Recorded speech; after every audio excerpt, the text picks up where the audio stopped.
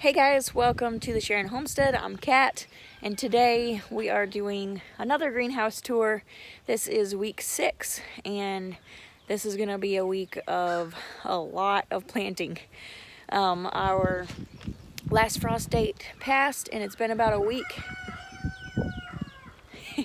it's been about a week since our last frost date, so I'm finally gonna be able to get things in the ground this week and out of the greenhouse, and then I actually started a whole bunch more seeds in the house. What are you doing, you silly cat? And so I'm gonna get those in the greenhouse after they sprout under my lamps. I have found that starting seeds in the house under the grow lights and um, just in the house in a very controlled environment is very quick germinating and they just do so much better than when I start them out here. Now, they did do pretty well out here, but in my experience, I'm just going based off my own experience, they did a lot better when I started them in the house. Probably because I can check on them very frequently and make sure everything's going good and they have constant light because I keep the lights on 24 7. So let's see what's growing in the greenhouse and then I'll talk to you about my plans for this week. Okay, so this week there's been a few more of these moringa trees sprout. Uh, I have one, two, and then a third one back there. So now there's six altogether and I'm not losing out on hope on these ones because they're just coming up slowly. Like I said, things in the house sprout really fast and they sprout evenly. These things are just crazy when you put them in the greenhouse. At least in my greenhouse. We'll see, I guess. I don't know. So the lettuce is doing good and the spinach is doing good. And all the okra is doing really good. Look at all that beautiful okra. Yeah, nice.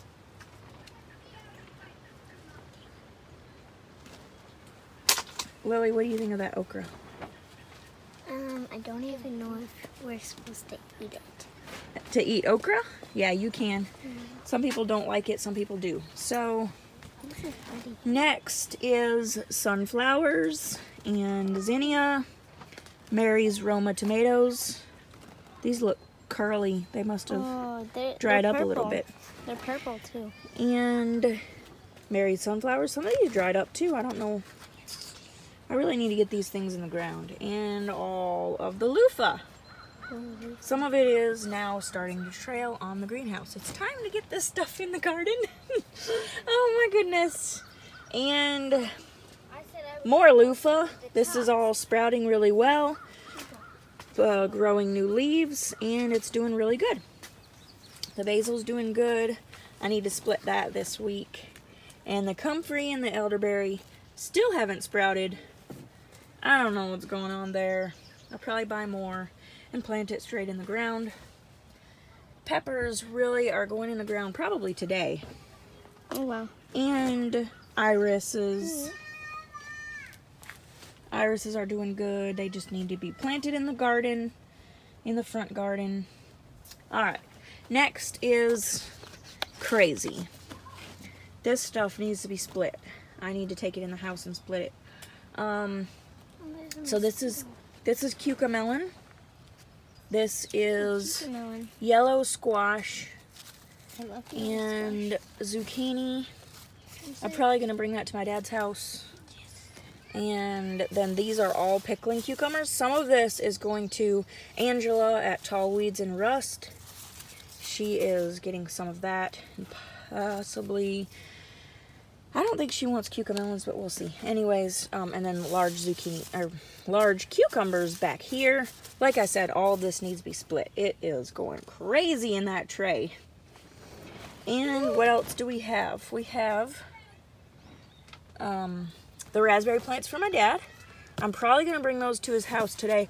Actually, Kaylin, can you put this, um, put it on that shelf over there.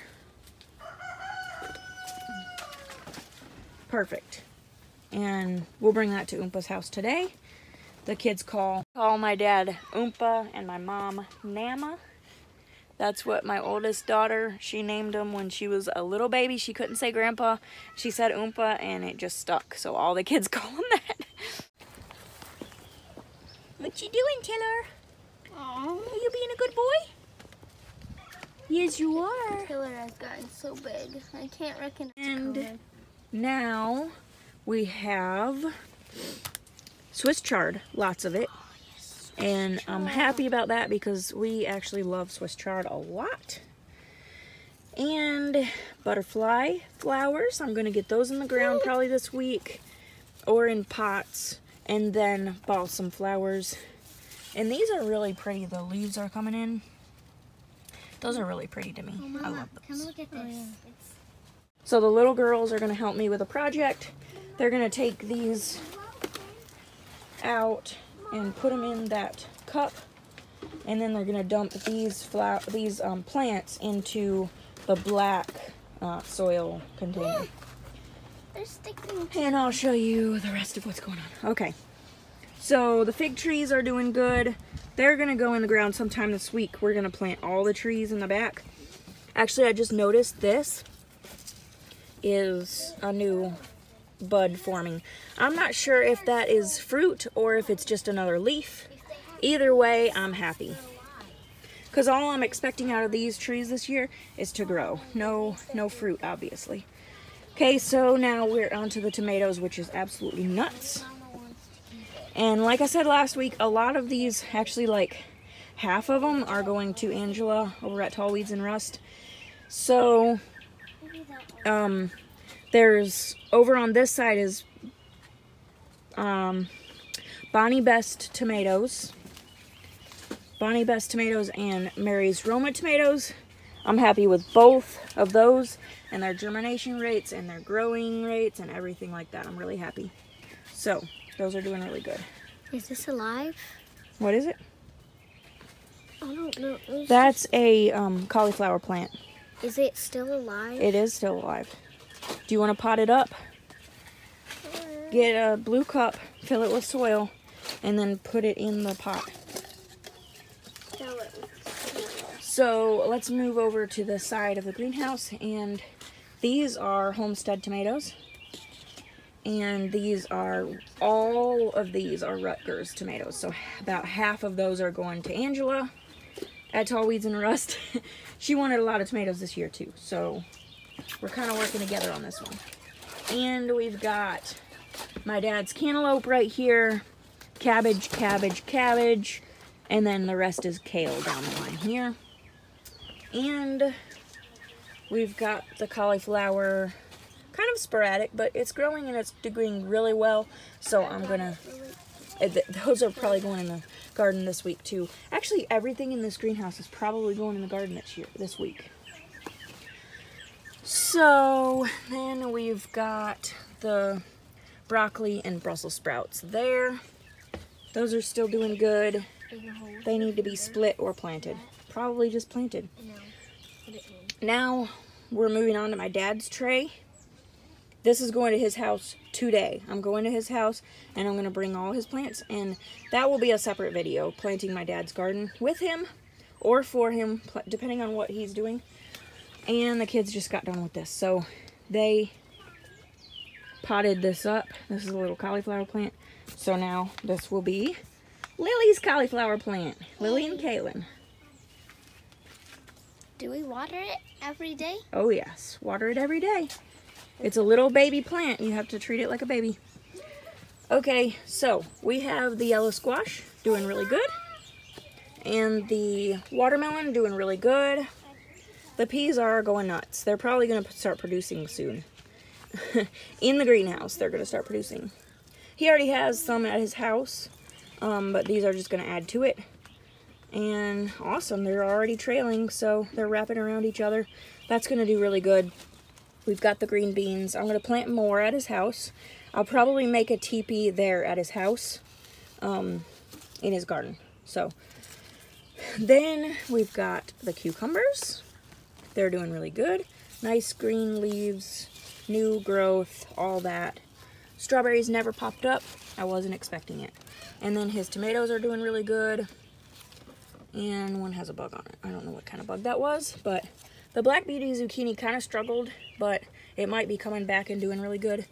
But I've got him a few other zucchini plants, so that's it for that. And then his cantaloupe was over here, obviously. You remember that? Those are going in his garden today. Now, let's look at the peppers. So these are bell peppers. These are my dad's bell peppers. I'll give him a few extra, obviously. And this week, the peppers really started getting their true leaves and really growing. And that means I need to, that looks like corn. That doesn't even look like a pepper. It's not. That was just a weed. Anyway, that's weird. Um, so all the peppers are doing good. We've got banana, we've got cayenne, we've got Mary's cayenne, and that actually sprouted a lot this week. We're growing Um, banana? banana peppers. Banana peppers. And then hot jalapeno, mild jalapeno, giant bell, and then some bell peppers. And then chocolate beauty. And I'm so glad these came up. I didn't do a lot, a lot, a lot of like special plants or whatever this year because I'm really focused on growing food. Like just just food, just all the food I can and not focusing on colors or anything like that. So I didn't do a lot of like colored plants, but I did do some purple broccoli and I, I am gonna plant some purple potted beans and that's about it. But now let's look at the grow tower, which really did good this week. So this kale is really busting out and I figured out this is not dinosaur kale, this is red Russian kale. Um, I don't know why I thought it was dinosaur. I did plant some dinosaur kale, but this is not it. So these are the peas, and they are gonna start producing soon, I think. Um, Are you gonna plant them in the garden? No, these are all staying in the greenhouse. Oh. And then we've got more kale, more kale, more kale, more kale, more kale, more kale, lettuce, spinach, lettuce, carrots, more kale and peas. And then we've got spinach up here and spinach and more kale, more kale and spinach. And that is it for the greenhouse. I'm to show you a couple areas on the farm that are producing really well for us right now. And then show you some things that I did this last week. And then we'll talk about my plans for this week. Okay, Lily, you want to show off this garden? What's growing in here? Kale. I think in the way back there's cabbage. That's lettuce. Lettuce, okay. And this is more lettuce. Mm-hmm. Oh, strawberries. Yeah, and there's nine strawberry plants in there. And have we eaten any salads out of the garden? Yes, we have. Which is your favorite leaf?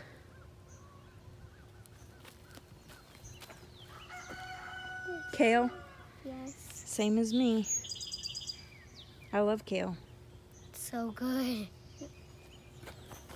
All right, so like Lily said, we've got Swiss chard, kale, spinach, and lettuces in the back over there. And in the background, you can see the blueberries. They're sprouting already. So the blueberries are coming in. You can see the little tiny baby blueberries in there. Oh, look at this. There's some sprouts over here. Oh. Mm-hmm. Bigger sprouts. Sprouts. We're gonna have tons of strawberries. Tons of what? Blueberries. Blueberries. Those are blueberries. but we also are gonna have strawberries. Okay, so going down the line, there's another, there's a row of spinach, a row of Swiss chard, and that, it looks like half of the row got dug up by the cats. Whoa. And then we've got kale, some more of this red Russian kale, and Kale, kale, kale, kale. kale, kale, kale, kale. Lettuce. And there's a blackberry bush. Spinach. Lettuce. There's spinach right here. Spinach and a weed. Let's get rid of that weed. More spinach. And then the strawberries. They're doing so good. I see a strawberry over there actually. Oh, there's also one right here. And it Oh, looks yummy. ready. It looks ready. That one looks ready. And then we've got the two rows of zucchini. So that's all that is growing right now, except in the main garden. There's still some tomato plants and uh, broccoli, cauliflower, and Brussels sprouts. And um, that garden has to be finished this week so I can start planting tomatoes. And then some other things have to be done. Lots of things have to be done. um, so let's talk about my plans for this week. I have got to get the pepper garden finished and ready to put peppers in, and um, pretty much all the plants that are in the greenhouse. Pretty much all the plants that are in the greenhouse um, have to be put in the ground this week. So this um, this garden behind me is one of the food forests in the front yard and um, I have one more food forest that has to be um, fenced in and I have to put um, paper down and wood chips and then I have to make three raised beds for in there to put some of the plants that are in the greenhouse. So that really has to be done this week. And I'm hoping that I have enough. The street is really busy today, apparently. Anyway, I have a lot of plants in the greenhouse that have to go in that second food forest because this one behind me is full. It's it's done. Um, I've got zucchini in one hoop house and then the salad greens in the other hoop house. And then I've got one bed full of onions and one bed full of carrots and then various plants scattered throughout. And then on the other side, it's actually in front of me. Um, I have to do a short fence and fix the pond and put the ducks in here. I have four ducks right now, four, four or five ducks. And they're little ducklings. They're not ready quite yet to come in this place, but they're almost ready. So I've got to get them in this duck pond it's a mess and the liner needs to be replaced. I bought the liner already a while ago. I just have to install it and get everything ready for the ducks. So this is the duck pond that I'm talking about and the liner is ripped in many places but here specifically you can see it. I think a dog got in there, one of our dogs, and ripped it up. Anyways, so the rocks have to be pulled up and the liner has to be replaced and then I have to put the rocks back and get the pump going. So this place with these four mulberry trees, this is actually the other food forest I'm talking about and I need to get three raised beds put in here and fence it off so my dog doesn't get in and eat up all my vegetable seedlings. There's actually sprouts over here, I think. Yep, there are. There are little mulberries. We're gonna have lots of mulberries.